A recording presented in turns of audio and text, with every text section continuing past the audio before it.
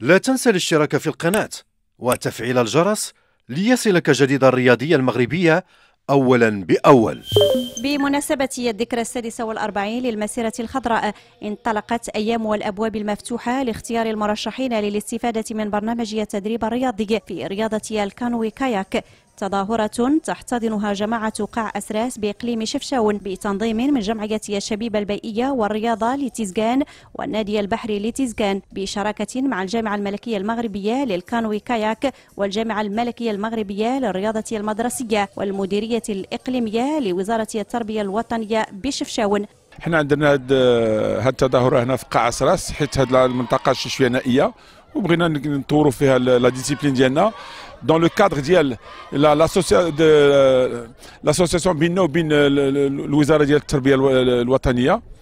و donc مع مع la délégation ديال التعليم ديال الشاون ديال الشاون ومع les communes ديال تيزكان وتاسيفت جبنا les enfants ديال المدارس من 9 سنين حتى ل 14 15 عام باش غادي نديروا لهم هاد les journées portes ouvertes وغادي نختاروا فيهم 30 واحد تقريبا اللي غادي يبقاو هنايا في في في ال club ديال قاع سراس الكنات غادي يبقاو هنايا. غادي يدخلوا يتدربوا هنايا إن شاء الله ونخرجوا منهم peut-être des, des talents من بعد. C'est un grand plaisir pour moi d'être ici au Maroc car أنا سعيد للغاية للتواجد هنا بالمغرب. إنه حدث استثنائي. وأنا هنا لدعم هؤلاء الأطفال لممارسة هذه الرياضة.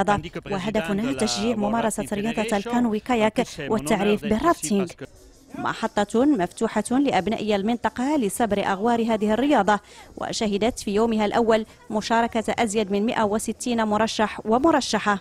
عجبتني المشاركة بزاف وفرحت.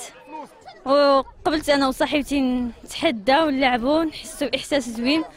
وبقينا كندوروا نعاودوا.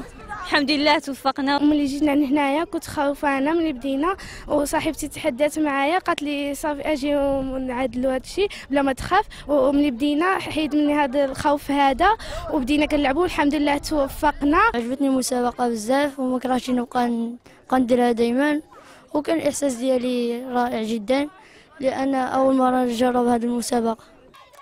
هذا الحدث الرياضي الذي يروم توسيع قاعدة الممارسين لرياضة الكانوي كاياك في المغرب تميز بحضور رئيس الجامعة العالمية لرياضة الرافتينج يوم أول بإقبال مكثف وبرغبة كبيرة لهؤلاء المشاركين للاستفادة من البرنامج التدريبي المتعدد السنوات ومواصلة المسار في رياضة الكانوي كاياك.